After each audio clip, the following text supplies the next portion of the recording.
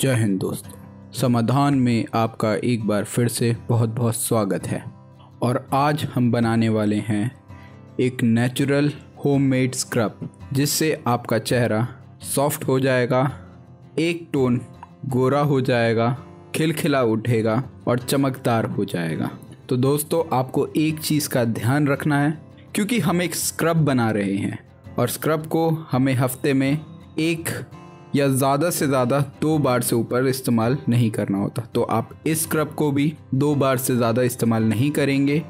साथ ही साथ, क्योंकि ये एक नेचुरल होम मेड स्क्रब है तो इसका असर आपको बाहर के केमिकल प्रोडक्ट वाले स्क्रब से बहुत ही ज़्यादा जल्दी दिखना शुरू हो जाएगा। तो ज़्यादा समय ना बर्बाद करते हैं और इस स्क्रब को फटाफट बनाते हैं। अपनी समस्या के समाधान के लिए हमारे यूट्यूब चैनल समाधान को सब्सक्राइब करें और साथ ही साथ कमेंट सेक्शन में जाकर अपनी समस्या लिखें ताकि जल्द ही उस समस्या का समाधान आपको मिल सके।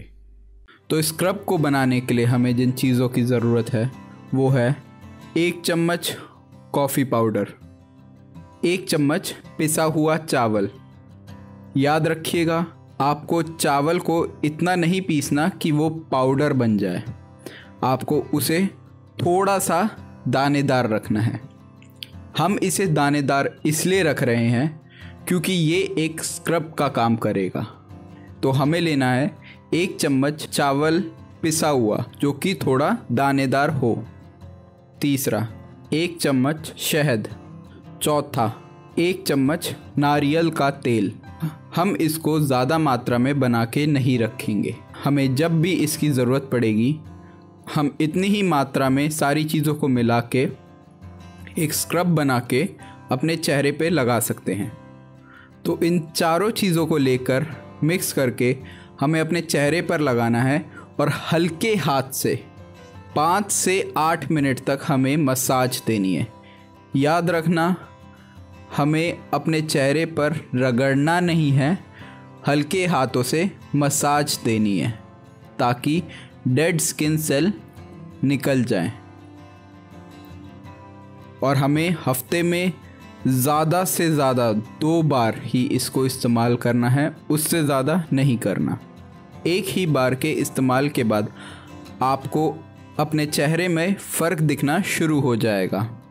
कम से कम दो से तीन हफ़्ते जब आप इसको इस्तेमाल करेंगे तो आपका चेहरा एक टोन गोरा हो जाएगा और आपकी स्किन फ्रेश महसूस करने लगेगी। तो आज के लिए इतना ही दोस्तों। अगर आपको ये वीडियो पसंद आई हो तो इस वीडियो को लाइक करें वो सब्सक्राइब का बटन दबा दें। साथ ही साथ आप कमेंट सेक्शन में जाके अपनी अगली परेशानी के बारे में लिख सकते हैं। ताकि हम जल्द से जल्द उस पर भी एक वीडियो बना के आपके लिए ला सकें। जय हिंद दोस्तों।